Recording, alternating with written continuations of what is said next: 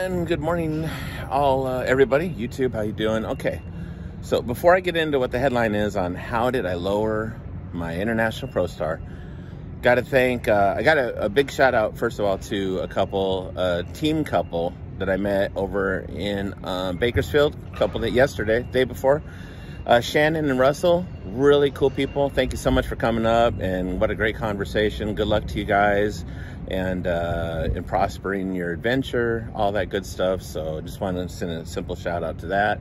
So, um, and I'm back to the containers because my trailer's jacked up right now. It got rejected for a load yesterday in Modesto, which sucked, but nonetheless, still making some money, doing all right. So, but all right, let's get into this. I'll, uh, I'll see if I can't flip you guys around and do the uh, video correctly so I can show you how to, how I lowered the ProStar. So let's do this.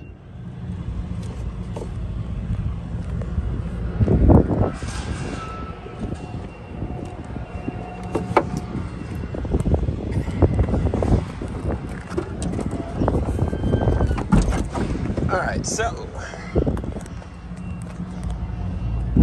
what we did was there used to be a three inch block right here. Actually, the block is tapered factory, so it comes like a one side's three and a quarter inches, the other side's like three inches, something like the three and three eighths, whatever. It's, it's, it's tapered to to put the pinion angle correctly from the front to the rear for the all the angled up and everything. So anyway, we took the U-bolts off.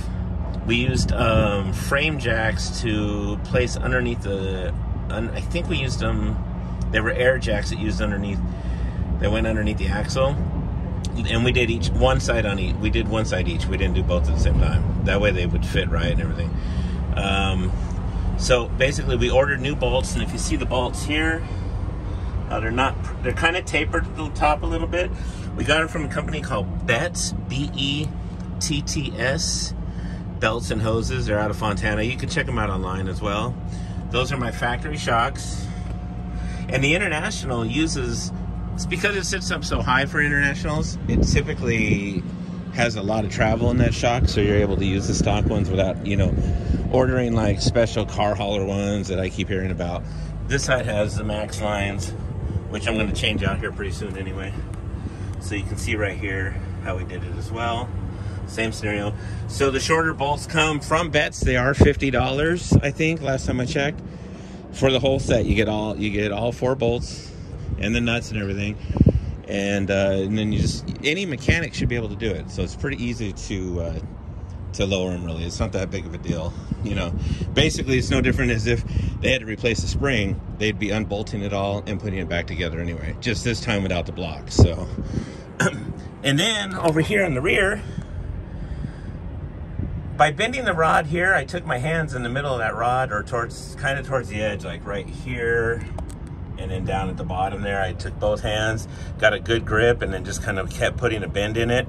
Then I would come back up here while the, while the truck is aired up, and you would notice it would come down because this piece right here used to sit up about right here. So again, the International sits real high and it was really raked. Like the front end was so low and the back was so high it looked stupid, so that's why we did that. Same again with the factory shocks.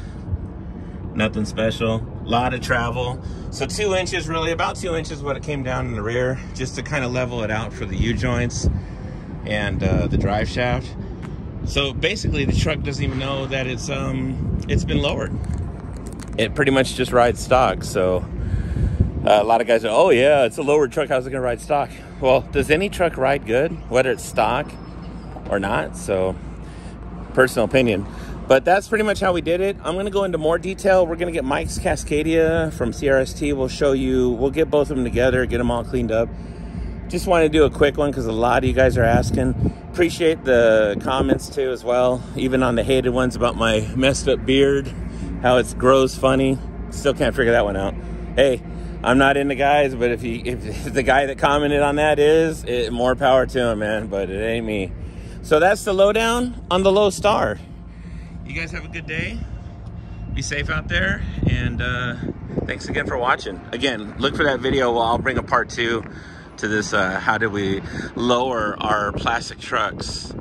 Uh, as soon as I get with Mikey, we'll do that for you guys. All right. Take care. Thanks a lot. Have fun.